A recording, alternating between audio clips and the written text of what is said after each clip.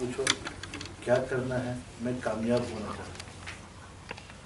لڑکے سے پوچھو، تو وہ بھی کہے گا میں کامیاب ہونا چاہتا ہوں۔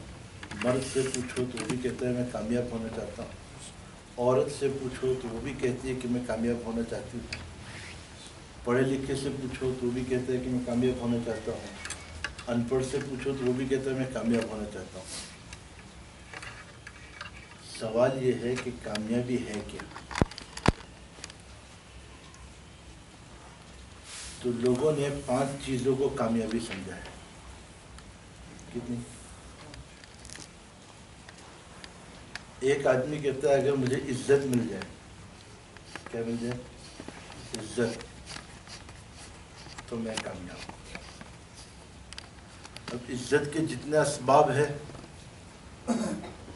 عزت کے جتنے اسباب ہے وہ سمجھتا ہے میری بڑی نوکری لگ جائے، میرا بڑا کاروبار ہو جائے، میرا بڑا مکان بن جائے، میرے پاس بڑی گاڑی آ جائے، میرے پاس بڑا پوسٹ آ جائے، تو اس سے مجھے عزت ملے گی۔ اللہ اپنے کلام پاک میں کہتے ہیں، انما العزت للہ ورسولہ وللمؤمنین۔ عزت تو اللہ کے پاس سے آتی ہے۔ اس کے پاس سے۔ کہ وہ تو عز من تشاء، وہ تو ذل من تشاء۔ کہ عزت تو اس کے ہاتھ میں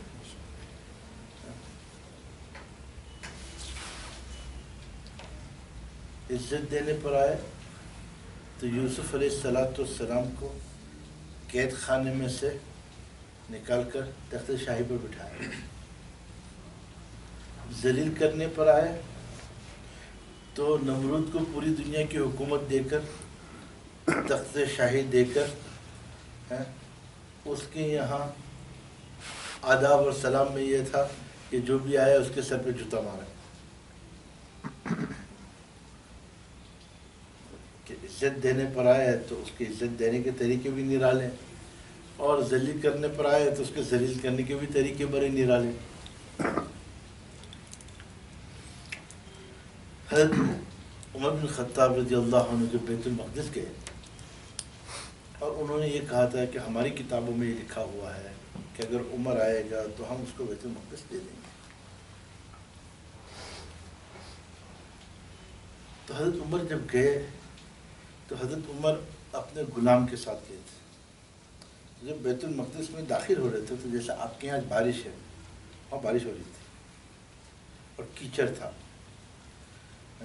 تو حضرت عمر اور ان کے غلام باری باری سواری لیتے تھے۔ تو بیت المقدس میں جس وقت داخل ہوئے، تو غلام کی باری سواری کی تھی اور حضرت عمر کی باری چلنے کی تھی۔ تو حضرت عمر نے اپنے جو شلوار تھی، اس کو اوپر کر لی۔ تو پیر کیچڑ میں، پیر کس میں؟ کیچڑ میں۔ اور غلام سواری پر ہے۔ اب جو بڑے تھے، اہل کتاب، بڑے چودھری، بڑے لوگ، وہ دیکھ رہے ہیں کہ جو ہماری کتابوں میں میں آپ کو بتاؤں، کیا بتاؤں؟ قرآن میں ہے کہ عارفون ہوں کما عارفون ابنا ہوں صحابہ جب روم میں گئے تو ایک صحابی کو لے کر گئے، شاہی خزانے میں ایک کتاب پڑھی۔ اس میں جناب رسول اللہ صلی اللہ علیہ وسلم سے پہلے جتنے نبی آئے، سب کی شکلیں۔ اور حضور صلی اللہ علیہ وسلم کی بھی شکل مبارک ہے۔ حضرت ابو بکر کی بھی، حضرت عمر کی بھی۔ ان کے پاس اتنا علم تھا آپ کے بارے میں۔ خیر، دیکھ رہے ہیں کہ آدمی تو شکل کے اعتبار سے تو جو چل رہا ہے وہ ہے، لیکن سواری پر سمجھ میں نہیں آیا۔ وہ حضرت عمر بن عاص تھے، جنہوں نے پیغام بھیجا تھا، حضرت عمر کو لیے، حضرت عمر ان کے پاس گئے۔ اور پوچھا کہ بھائی کیا کرنا ہے؟ کیا ہے؟ تو کہا کہ آپ ان لوگوں سے ملنے کے لیے جا رہے ہیں۔ یہ بہت ہائی اسٹینڈرڈ کے لوگ ہیں۔ آپ تھوڑے بند تھن کر جائیں۔ اچھی سواری پر جائے، اچھے کپڑے تاکہ لگے کہ کوئی آیا آدمی آیا ہے۔ کوئی لگی پرسنالٹی بھی کچھ لگنی چاہیے۔ حضرت عمر نے کپڑے پہنے، پھر دل کے اندر کچھ ان کی طبیعت پر آیا۔ انہوں نے نکالا، ان کے منہ پر پھینک دیا۔ اور کہا کہ حضور صلی اللہ علیہ وسلم کے یہاں تمہارا مقام نہ ہوتا۔ حضرت عبید بن جرا کو کہا کہ حضور نے تمہارے بارے میں کہا تھا، لکل امت امین وہ امین و حادل اما ابو عبید بن جرا اے ابو عبیدہ، اگر تیرا حضور کے یہاں مقام نہ ہوتا اور حضور سے رشتہ داری نہ ہوتی، تو میں تم کو ایسا سبق سکھاتا کہ قیامت تک لوگ یاد کرتے کہ ایسی رائے کبھی نہیں دیکھا ایسا سبق سکھاتا۔ پھر کہا میرے پرانے کپڑے لاؤ۔ کپڑے پہنے۔ اور یوں کہا کہ انا کننا اضل الناس تو تو بالکل گرے پڑے لوگ تھے۔ ہم کو جو اللہ نے عزت دی ہے عزن اللہ بالاسلام۔ عزت تو اسلام نے دی ہم کو۔ ان نطلب العزت بدونی ما عزن اللہ اذلنا اللہ نے جس میں عزت رکھی ہے، اس کو چھوڑ کر کہیں بھی ہم عزت تلاش کریں، خدا ذلیل کرے گا۔ خدا کیا کرے گا؟ کیا کرے گا؟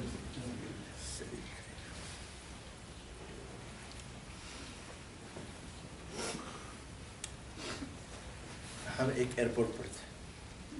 نماز کا وقت ہو۔ تو ایک مسلمان مجھے کہنے لگا، آپ نماز پڑھو۔ پڑھو یہ لوگ کیا کہیں گے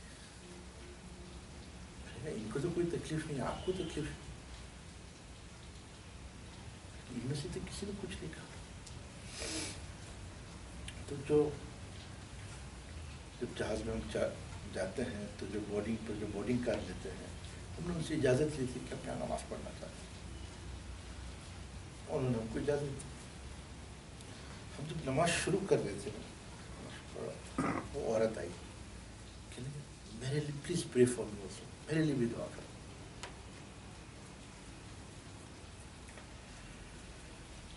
نماز پڑھ کے فارغ ہوئے تو میں نے اس آدمی کو کہا کہ میرے بھائی، اتنے آدمی بیٹھے ہوئے تھے، یہ غیر تھے، ان میں سے کسی کو شرم نہیں آئی کسی کو تکلیف نہیں ہوئی۔ ایک آپ مسلمان ہیں کہ آپ کو نماز سے تکلیف ہے؟ کیسے مسلمان کہ ہم نماز پڑھیں گے تو لوگ کیا سمجھیں گے؟ ہماری کون کہ دوستو عزت تو کون دیتا ہے؟ اللہ۔ دیتا ہے۔ تو پہلی چیز عزت پہلی چیز کیا؟ عزت کہاں سے آتی ہے؟ اللہ سے۔ دوسری چیز ہر آدمی سکون چاہتا ہے۔ کیا چاہتا ہے؟ ہر آدمی۔ آپ کسی سے ملو؟ بہت ٹینشن کیا کہتے ہیں آدمی کیا کہتا ہے اب بارش ہو رہی ہے ہمارا آدمی کے اوپر ٹینشن چلا ہوا ہے یہ سیلاب آ گیا تو کیا ہوگا پانی آ گیا تو کیا ہوگا کیا کریں گے ہے کہ نہیں لیکن اگر آدمی اسی ٹینشن میں اللہ کی طرف متوجہ ہو بارش کون لاتا ہے کون لاتا ہے اور اللہ سے مانگے اگر جتنے کشمیر، جتنے مرد، عورت، جتنے اپنے گھروں پر ہے اس وقت مسلح پر بیٹھ جائے پچھلی زندگی میں توبہ کرے اور اللہ سے کہہ کہ بس اللہ، تو راضی ہو جائے، بس۔ اللہ بس اپنے عذاب کو تو اللہ نہیں روک دے گا ہاں؟ اللہ نہیں روک دے گا ہاں؟ اللہ نہیں روک دے گا ہاں؟ مسلمان تو ایسا ہے، ایمان والا تو ایسا ہے حضرت عمر رضی اللہ عنہ کی دور میں یہ بھی مجھے کہہ رہے تھے کہ ہمارا کشمیر تو والکینوں کے نیچے ہے۔ تو حضرت عمر کے زمانے میں مدینے میں ایک پہاڑ ہے۔ اس میں سے ولکینو ارمٹ ہوا۔ لاوا آیا۔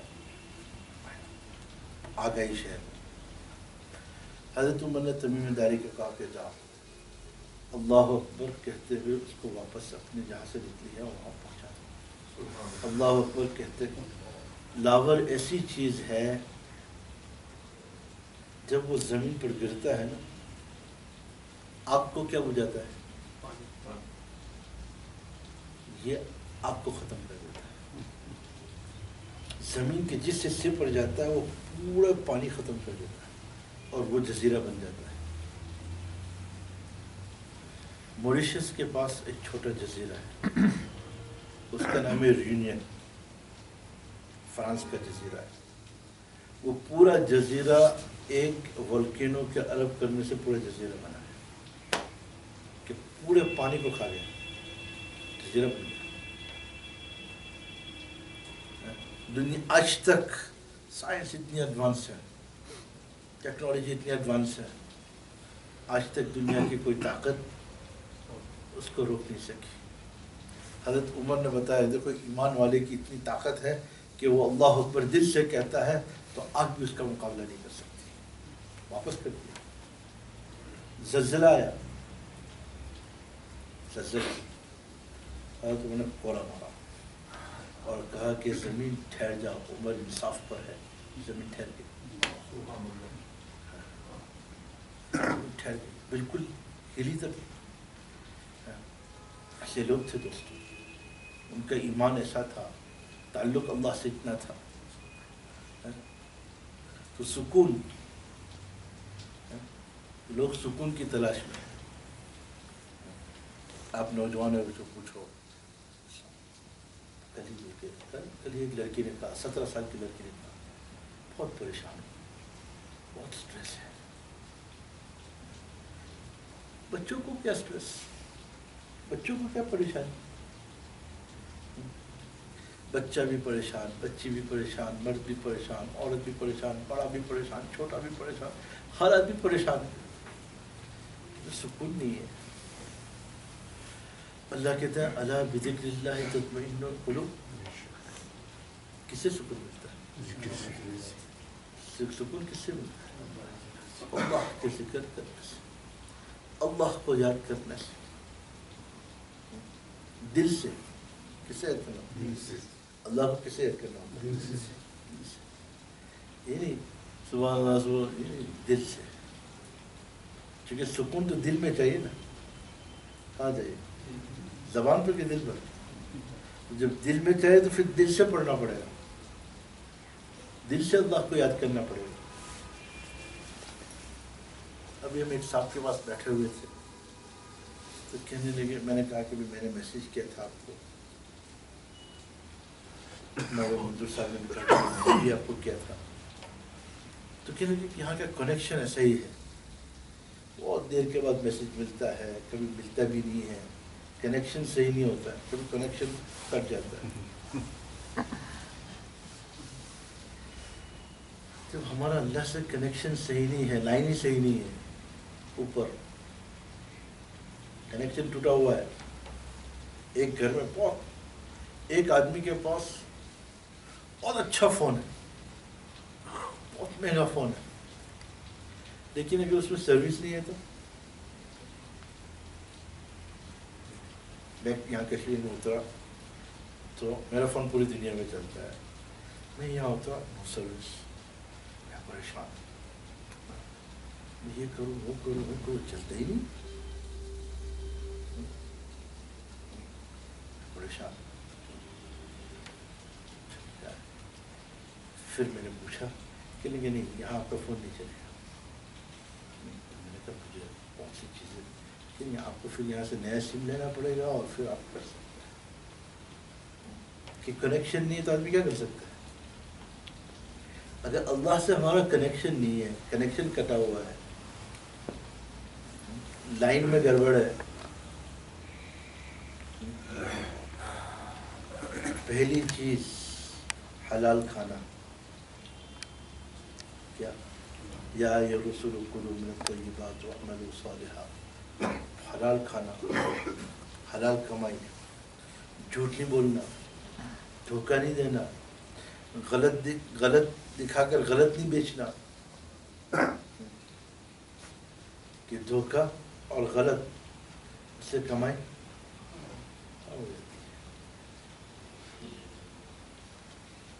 اور حرام کا ایک لقمہ چالیس دن تک نہ کوئی فرض، نہ کوئی نفل۔ اور جب تک اس اس، یہ یہ لقمہ اس کے اثرات انسان کے جسم میں ہے اس کی دعا قبول نہیں ہوگی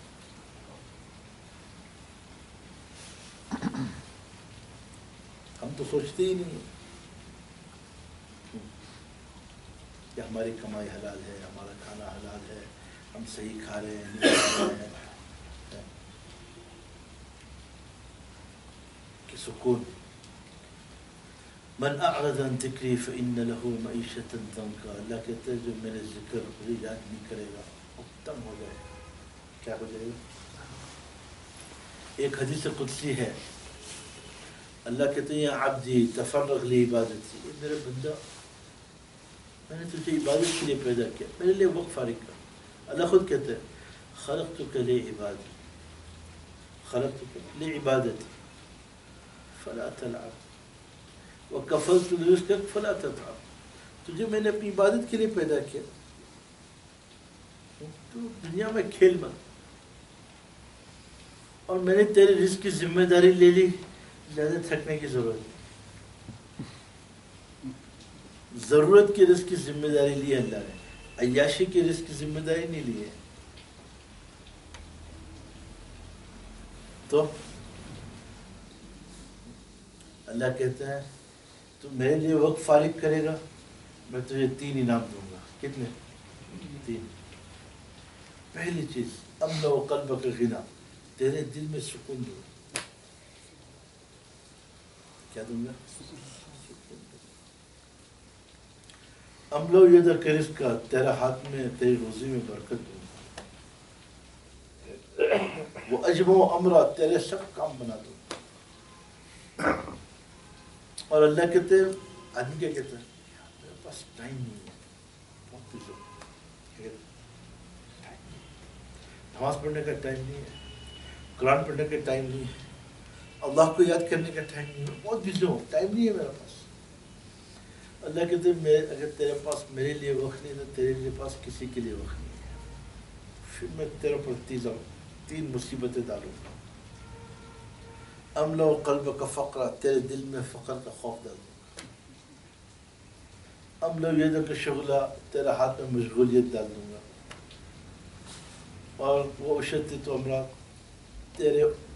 تیری پریشانیاں بڑھا دوں گا۔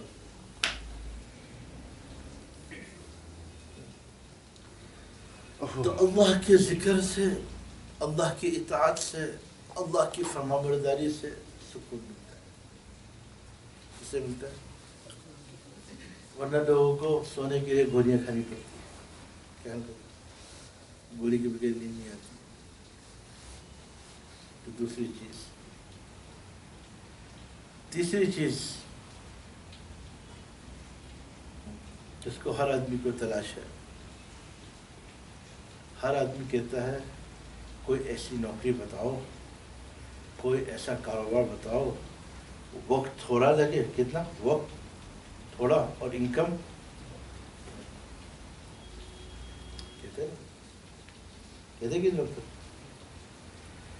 کہتے ہیں لو أن أهل القرى آمنوا واتقوا لفتحنا عليهم بركات من السماء والأرض. اللہ کہتے ہیں ایمان اور تقوی لیا پھر دیکھو ہم آسمان اور زمین کی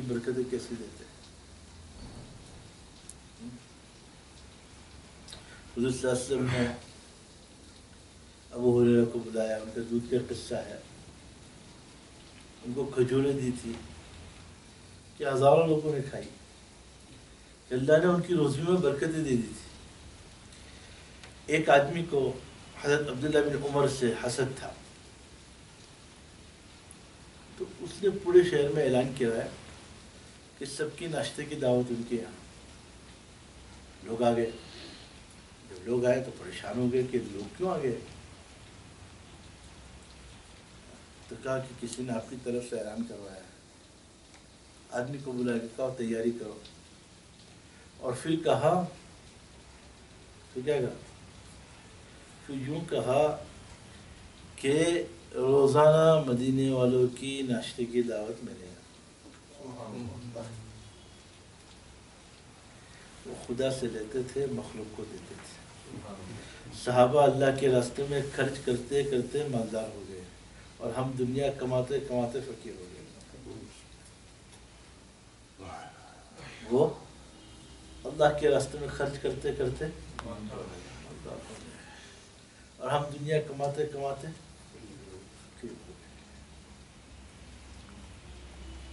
ان کو پتا تھا اللہ سے کیسے لینا۔ وہ اللہ سے لیتے تھے، مخلوق کو وہ دیتے تھے۔ کسے لیتے تھے؟ اللہ سے لیتے تھے۔ اور اللہ سے جو مانگتے تھے، جیسا مانگتے تھے، جس طرح مانگتے تھے، اللہ دیتا تھا۔ اب سیرت پڑو آپ حیران رہ جاؤ گے۔ جو مانگتے تھے اللہ سے۔ پھر تو ایمان اور تقوی پر اللہ برکتیں دیں گے۔ کیا دیں گے؟ دیں گے۔ حضور صلی اللہ علیہ وسلم کی مبارک زندگی کو اپناؤ گے تو حضور حضور صلی اللہ علیہ بابرکت، حضور کی ہر ادا برکت۔ حلیمہ سعدیہ نے، حلیمہ سعدیہ رضی اللہ عنہ نے مکہ آئی۔ تو سب دودھ والے پلانے والی عورتیں۔ بچوں کی تلاش میں تھی، وہ بھی آئی۔ کسی نے بچہ نہیں دیا چونکہ اس کا خود کا دودھ کا بچہ دودھ پیتا تھا اور خود کا دودھ اتنا تھا نہیں۔ اخیر میں تلاش کرتے کرتے کہ خالی ہاتھ جانا تو اچھا نہیں ہے۔ ہاں؟ آپ کے پاس آئی، آپ کے دادا کے پاس آئی۔ تو کہا کہ بھائی دیکھو، اس کا تو باپ بھی نہیں ہے۔ اور جو ہے، اس کی ماں تو ہے۔ لیکن میرے تو اور بھی دس بچے ہیں، نو بچے ہیں۔ تو اس لیے جو ہے، کچھ زیادہ تو نہیں دے پائیں گے آپ۔ تو کہا ٹھیک ہے، آپ جو دیں گے دیں گے خالی ہاتھ لے جاؤں گا، کوئی بات نہیں۔ حضور صلی اللہ علیہ وسلم کو جیسے ہی لیا، سواری پیچھے رہتی تھی، سواری سب سے آگے۔ ایک بچے کا دودھ کافی نہیں ہوتا تھا، اب دو بچے پی رہے ہیں۔ قبیلے والوں نے کہا، لوگ جو ساتھ آئے تھے، کہنے لگے، حلیمہ کو برکت والا بچہ مل گیا۔ کیا کہنے لگے؟ پھر ان کے یہاں قبیلے بر سعد میں قحط پڑا۔ تو قبیلے والوں نے کہا کہ حلیمہ کی جہاں بکریاں چرتی ہیں، وہاں اپنی بکریاں بھیجو۔ اس لیے کہ جب اس کی بکریاں شام کو آتی ہے تو اس میں تو دودھ ہوتا ہے، ہماری بکریاں خالی آتی ہے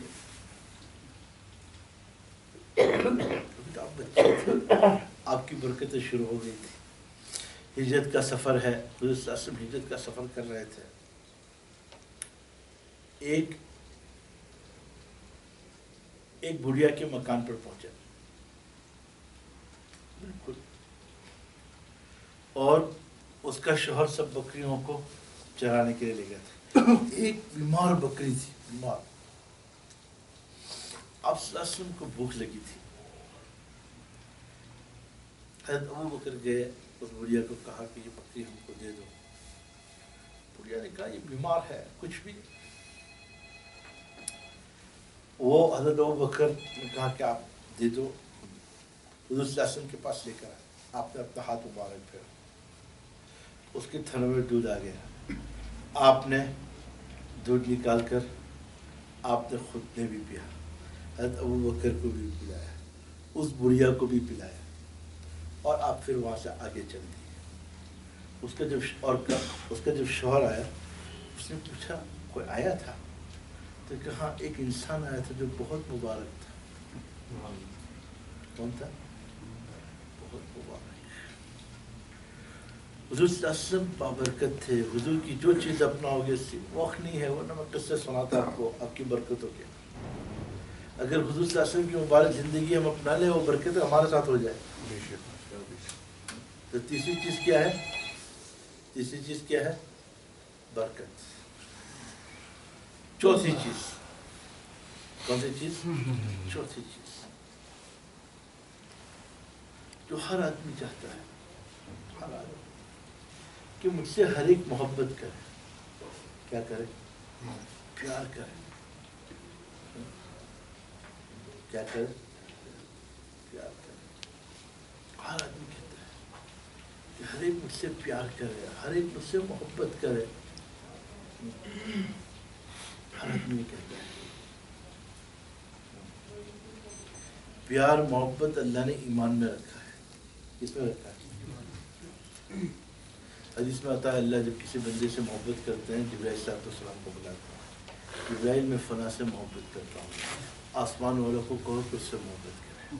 پھر کہو کہ جاؤ زمین والوں کو کہہ دو کہ ہم اس سے محبت کرتے ہیں۔ آسمان والے بھی اس سے محبت کرتے ہیں، زمین والے بھی اس سے محبت کرتے ہیں۔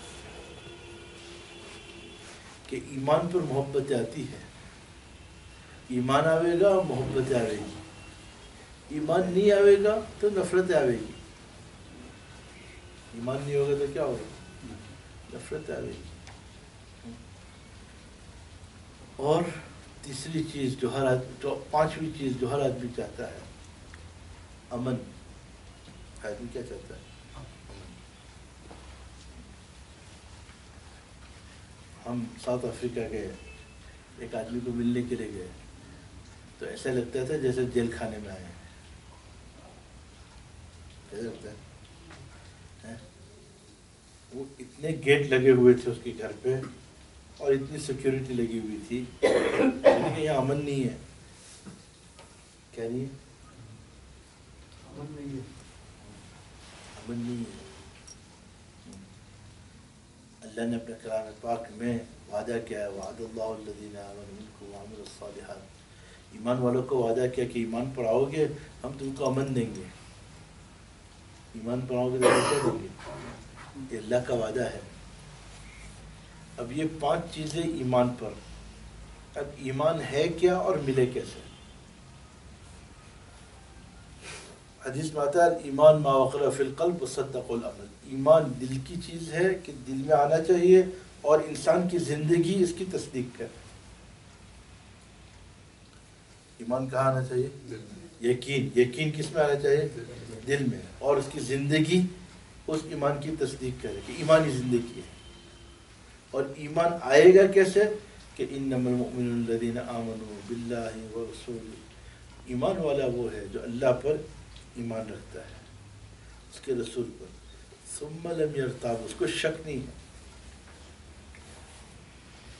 آج مسلمان سے پوچھو تو مسلمان۔